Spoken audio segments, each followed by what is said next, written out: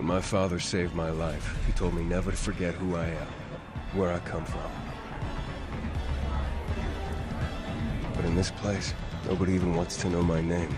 Getting attached is deadly.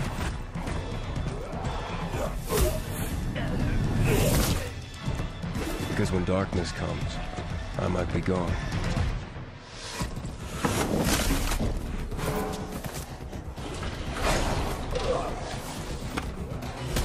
The virus tore society apart, but I won't let it turn me into an animal.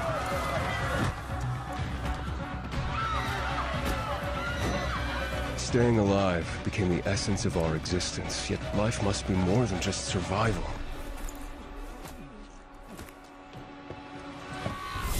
Every day, the disease tries to crush us and make us forget who we are, but I keep fighting.